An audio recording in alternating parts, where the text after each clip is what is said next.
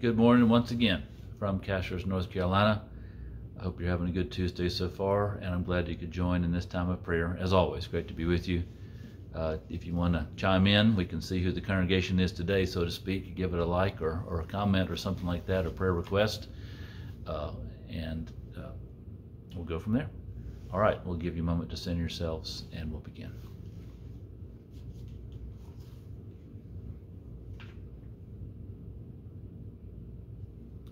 O Lord, open our lips, and our mouths shall proclaim your praise.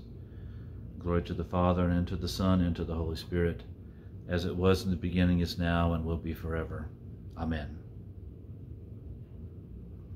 One thing I have asked of the Lord, this is what I seek, that I may dwell in the house of the Lord all the days of my life, to behold the beauty of the Lord, and to seek him in his holy temple. Christ as a light illumine and guide me, Christ as a shield overshadow me, Christ under me, Christ over me, Christ beside me, Christ on my left and my right. This day be within and without me, lowly and meek, yet all powerful. Be in the heart of each to whom I speak, in the mouth of each who speaks unto me. This day be within and without me, lowly and meek, yet all powerful. Christ as a light, Christ as a shield, Christ beside me, on my left and on my right. The Lord be with you. Let us pray.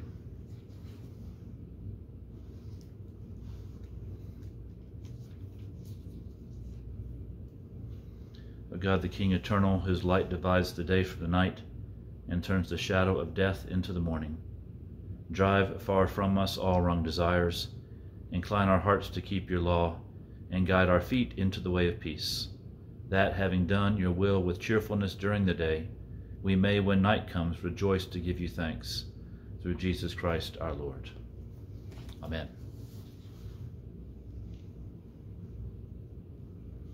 A reading from Romans chapter 4. What then are we to say was gained by Abraham, our ancestor according to the flesh. For if Abraham was justified by works, he has something to boast about, but not before God. For what does the Scripture say? Abraham believed God, and it was reckoned to him as righteousness. Now to one who works, wages are not reckoned as a gift, but as something that is due. But to one who, without works, trusts him who justifies the ungodly, such a faith is reckoned as righteousness. So also David speaks of the blessedness of those to whom God reckons righteousness apart from works by saying, Blessed are those whose iniquities are forgiven and whose sins are covered. Blessed is the one against whom the Lord will not reckon sin. Is this blessedness then pronounced only on the circumcised or also on the uncircumcised?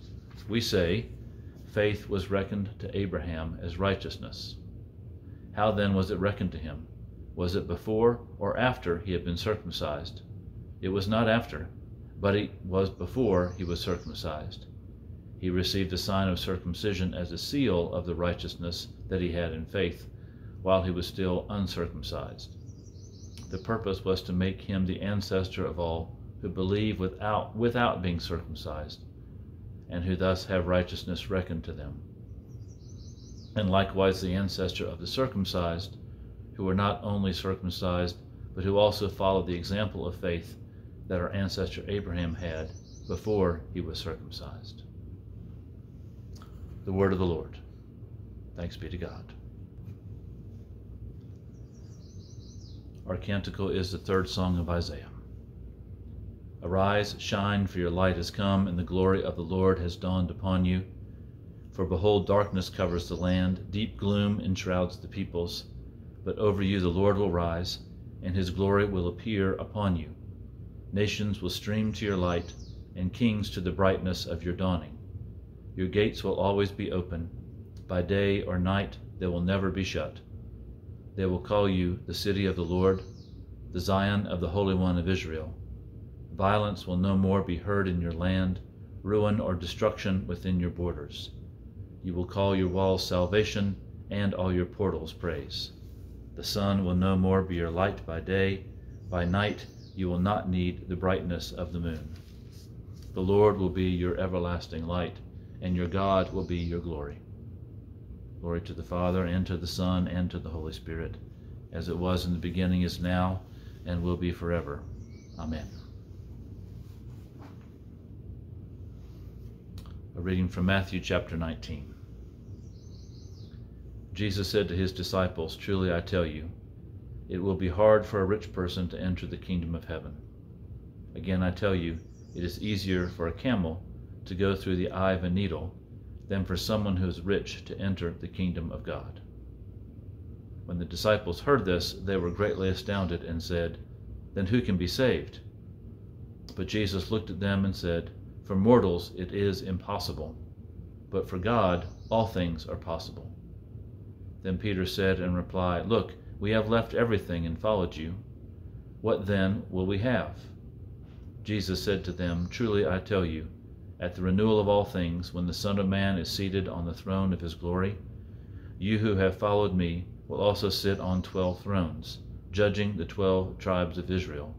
And everyone who has left houses, or brothers, or sisters, or father, or mother, or children, or fields, for my name's sake, will receive a hundredfold and will inherit eternal life. But many who are first will be last, and the last will be first. The word of the Lord. Thanks be to God. Let us now pray in the words that Christ has taught us. Our Father, who art in heaven, hallowed be thy name. Thy kingdom come, thy will be done, on earth as it is in heaven. Give us this day our daily bread. Forgive us our trespasses, as we forgive those who trespass against us. Lead us not into temptation, but deliver us from evil. For thine is the kingdom and the power and the glory, forever and ever. Amen.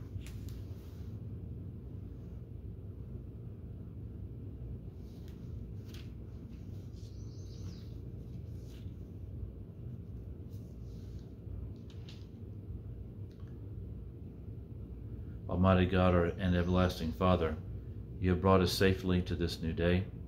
Preserve us with all your mighty power, that we might not fall into sin, nor be overcome by any adversity. And in all we do, direct us to the fulfilling of your purpose, through Jesus Christ our Lord. Amen. O God, you have made of one blood all the peoples of the earth, and sent your blessed Son to preach peace to those who are far off and those who are near Grant that people everywhere may seek after you and find you. Bring the nations into your fold. Pour out your Spirit upon all flesh, and hasten the coming of your kingdom through Jesus Christ our Lord. Amen. Lord Jesus Christ, you stretched out your arms of love on the hard wood of the cross, that everyone might come within the reach of your saving embrace. So clothe us in your Spirit, that we, reaching forth our hands in love, may bring those who do not know you to the knowledge and love of you for the honor of your name. Amen. Let us bless the Lord. Thanks be to God. Glory to God, whose power working in us can do infinitely more than we can ask or imagine. Glory to him from generation to generation in the church and through Christ Jesus our Lord. Amen. Great to be with you in prayer. Look forward to seeing you next time. Go in peace and be well.